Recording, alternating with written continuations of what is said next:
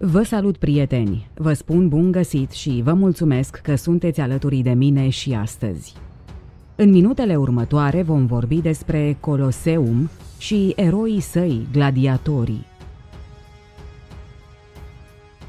Coloseumul, clădirea colosală și centru de divertisment impresionant, ne amintește și astăzi de succesul romanilor în ceea ce privește arhitectura.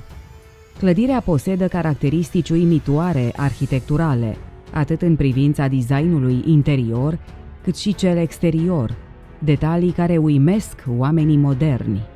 Cu toate acestea, nimeni nu știe cui trebuie să mulțumim, pentru că numele arhitectului este necunoscut.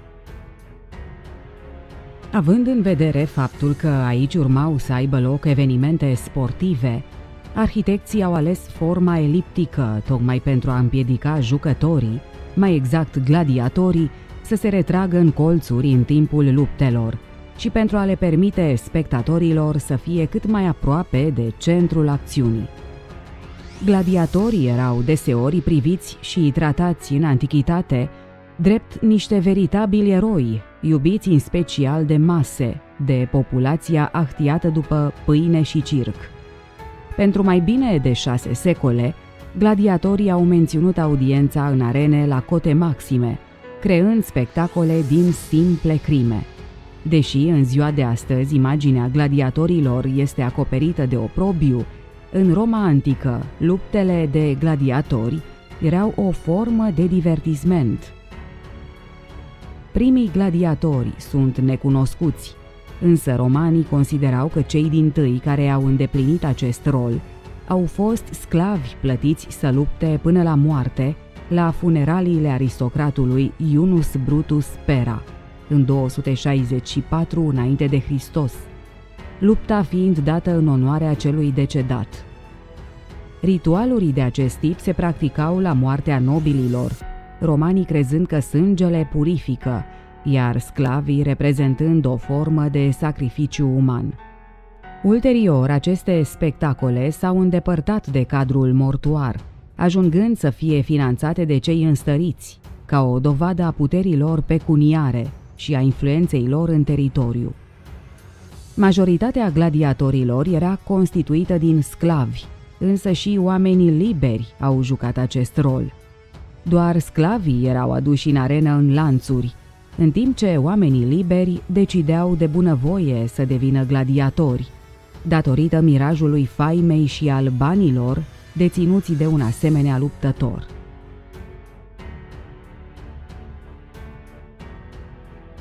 Oamenii simpli, dar și foști soldați, cavaleri, senatori și patricieni au intrat în arenă. Totuși, chiar și sclavii erau supuși unei diete și unui antrenament riguros pentru a oferi un spectacol de calitate, direct proporțional cu suma investită în ei, sumă care nu era deloc mică. O demitizare a unei idei destul de răspândite este aceea că gladiatorii luptau până la moarte. Este adevărat că primii gladiatori erau considerați jertfe umane, deci moartea lor era inevitabilă. Însă mai târziu gladiatorii luptau după reguli bine stabilite, care nu implicau mereu moartea oponentului. Scopul lor era de a distra publicul și uneori, dacă acesta se plictisea din cauza unei bătălii prea lungi, combatanților le era permis să părăsească arena. Un gladiator implica multe costuri pentru locuință, hrană și antrenament, așa că antrenorilor îi învățau deseori cum să își rănească oponentul, astfel încât să nu îl omoare. După anul 80 după Hristos, an care marchează construirea Coloseumului, luptele au evoluat, fiind foarte bine organizate. Luptătorii au fost clasificați în funcție de diverse criterii, precum experiență, specializarea într-un anumit stil de luptă și arme utilizate. Sclavii de sex feminin erau de asemenea folosiți pentru acest tip de luptă. Femeile erau introduse în arenă alături de omologii lor masculini, iar izvoarele istorice nu menționează femei libere care să fi devenit voluntare în aceste lupte. De asemenea, nu se cunosc primele femei gladiator, însă după secolul I după Hristos, acestea erau deseori văzute în arene. Anul 200 după Hristos pune capăt participării lor la acest tip de lupte. Abandonarea Coloseumului a însemnat sfârșitul luptelor cu gladiatori. Deși contestate și considerate crude ori sângeroase, aceste lupte erau, în ultimă instanță, o provocare pentru atenție și pentru îndemânare. Gladiatorii au fost și rămân un simbol al Romei antice, fiind mereu prezenți în filmele artistice sau în documentare de gen.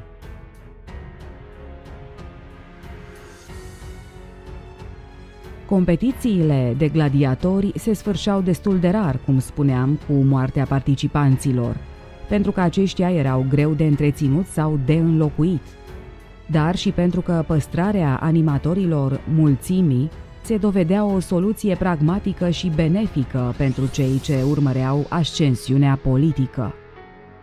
Sursele istorice au reținut aspecte mai puțin obișnuite referitoare la abordarea jocurilor de către împărați. Lui Comodus îi plăcea să organizeze lupte între pitici și femei și chiar el însuși și-a făcut apariția în arenă de numai puțin de 735 de ori sub chipul lui Hercule, cu măciuca și pielea de leu. În analele lui Tacitus, Nero punea în scenă spectacole inedite, la care un mare număr de senatori și femei de vază au căzut în disgrație ca urmare a participării la lupte. Domitian ordona lupte nocturne între femei gladiator, care erau, se pare, o prezență destul de comună, după cum relatează și Petronius. Diocasius sau Marțial – Septimius Severus a emis un edict în 200 după Hristos care interzicea femeilor intrarea în arenă. Cel mai grandios spectacol la care participă 5.000 de perechi de gladiatori avea loc în timpul lui Traian, în anul 107 după Hristos, în cinstea victoriei asupra dacilor. Competițiile au fost interzise de Constantin în 325 după Hristos – însă au continuat până prin mijlocul secolului al V-lea. Honorius se pare că le-a pus definitiv capăt, pe măsură ce imperiul se apropia de colaps. Ultima competiție din Roma este datată la 1 ianuarie 404. Gazda luptelor între gladiatori, Coloseumul, a fost construit în 10 ani. Publicul era așezat pe mai multe niveluri, în funcție de rangul fiecăruia. La primul etaj se aflau împăratul și apropiații săi. La următorul, cetățenii bogați și abia apoi stăteau săracii. Cei care veneau la aceste spectacole prezentau la intrare un fel de card și apoi erau redirecționați către locurile lor. Deși este atât de vechi, Coloseumul are un succes la fel de mare acum ca și atunci când a fost construit. Coloseumul este un monument turistic aflat în centrul Romei, vizitat de foarte mulți turiști din toată lumea. Este probabil cea mai impresionantă clădire ruină a Imperiului Roman. Coloseumul era cea mai mare construcție a vremurilor sale și astăzi este cel mai mare anfiteatru antic care poate fi vizitat în Italia.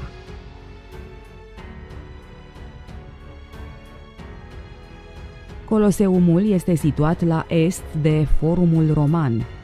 Construcția a început sub conducerea împăratului Vespasian în anul 72 după Hristos și a fost finalizată în anul 80 după Hristos, sub conducerea succesorului său și moștenitorul Titus. Alte modificări au fost făcute în timpul domniei lui Domitian, 81-96. Acești trei împărați sunt cunoscuți sub numele de dinastia Flaviană, iar anfiteatrul a fost numit în limba latină pentru asocierea cu numele de familie, Flavius. Capacitatea Coloseumului este estimată între 500 de mii și 80 de mii de spectatori. Având o audiență medie de aproximativ 65.000 de spectatori. A fost folosit pentru concursuri cu gladiatori și spectacole publice, cum ar fi bătălii maritime, pentru o scurtă perioadă de timp, când hipogeul a fost în curând completat cu mecanisme de susținere a celorlalte activități, vânătorii de animale, execuții, reînnoiri ale unor bătălii celebre și drame bazate pe mitologia clasică. Clădirea a încetat să fie folosită pentru divertisment în epoca medievală timpurie. Mai târziu a fost refolosită în alte scopuri, cum ar fi locuințe, ateliere, cartiere pentru o ordine religioasă, o cetate, o carieră și un altar creștin. Deși a fost ruinat parțial din cauza pagubelor provocate de cutremure și hoții de piatră, Coloseumul este încă un simbol iconic al Romei imperiale și este listat ca una dintre cele șapte minuni ale lumii.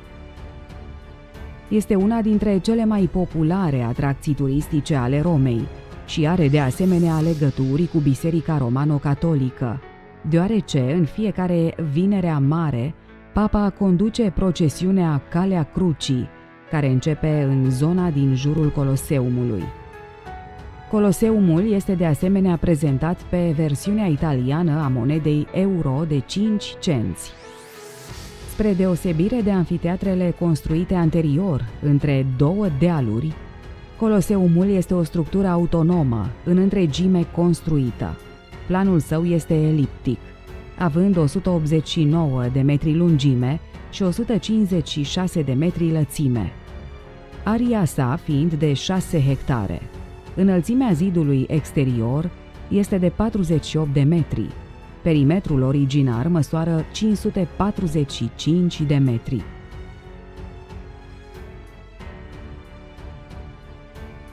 Arena centrală este ovală, având 86 de metri lățime și 156 de metri lungime, înconjurată de un zid de 4,5 metri înălțime, care se ridică până la nivelul primelor rânduri pentru spectatori.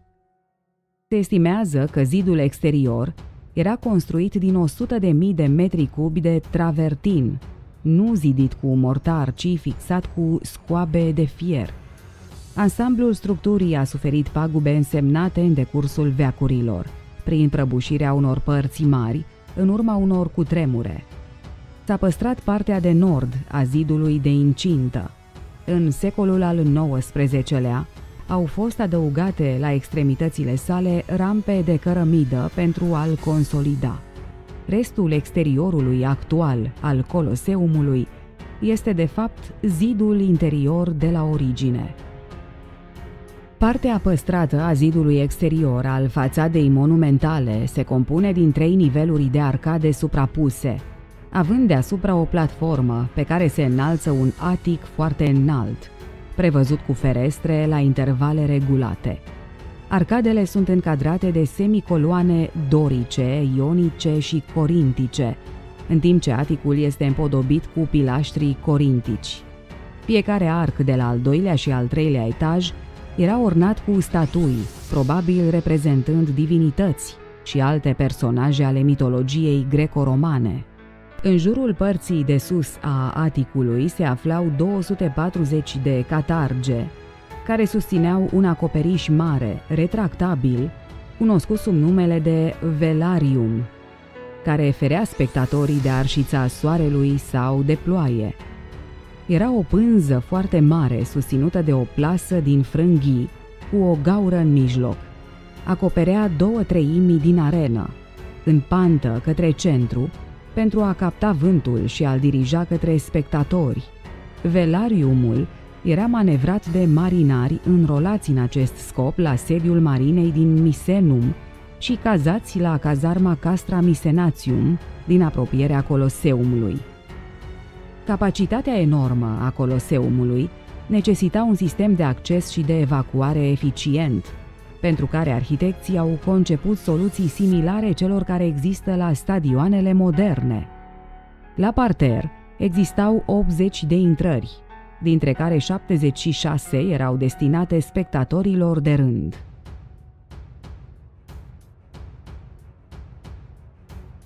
Fiecare intrare era numerotată, precum și fiecare scară. Nordul intrării principale – era rezervat împăratului și apropiaților săi, pe când celelalte trei intrări axiale erau destinate elitei. Cele patru intrări axiale erau bogat decorate cu picturi și reliefuri din stuc, printre care s-au păstrat unele fragmente. Un număr mare de intrări a dispărut prin prăbușirea zidului exterior, însă intrările 23 și 54 mai există. Spectatorii primeau bilete sub formă de bucăți de ceramică, pe care erau indicate prin numere, secțiunea și rândul. Ajungeau la locurile lor prin mai multe vomitorii care dădeau în tribună. La sfârșitul jocurilor sau în caz de urgență, evacuarea se putea face pe acolo în câteva minute. În conformitate cu calendarul Codex din 354, Coloseumul ar putea găzdui 87.000 de oameni, cu toate că estimările moderne pun cifra la aproximativ 60.000. Spectatorii erau așezați într-un aranjament pe niveluri care reflecta natura rigidă, stratificată a societății romane. Cutii speciale erau puse la nord și la sud pentru împărat și virginele vestale, oferind cele mai bune unghiuri de vedere spre arenă. Atât despre Coloseum și despre eroii săi, gladiatorii. Aștept păreri despre acest subiect în secțiunea de comentarii de mai jos. De asemenea, sugestiile voastre vor fi luate în considerare. Ni le puteți scrie și la adresa de mail teoriincredibileoffice.gmail.com Sunt Claudia Mesea Paraschivescu și vă aștept cu drag și data viitoare. Pe curând!